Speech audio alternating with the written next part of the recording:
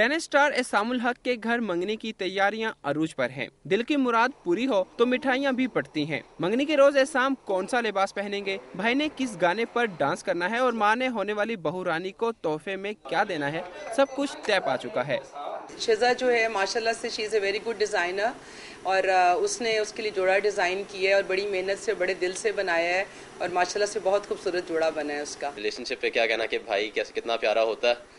मगर हमारे लिए काफ़ी खुशी की बात है कि वही होने वाली भाभी फहा जैसी लड़की हमारे घर में आएँगी तो काफ़ी नेमत बन के आएँगी।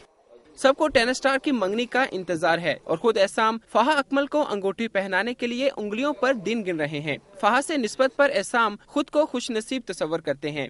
I am ready for this commitment पहले पिछले सालों में हमेशा कहा था कि I was not ready for it लेकिन right now I feel I am definitely ready I am very blessed and lucky कि I was able to find a girl like Faha कौमी हीरो के वालिद कहते हैं कि मंगने के बाद बेटे के सर पर सेहरा सजाने की रस्म भी इसी साल 16 दिसंबर को होगी।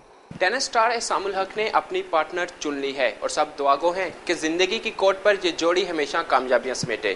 कैमरामैन फैसल रहमान के साथ स्नाउल्ला खान, दुनिया न्यूज़, लाहौर।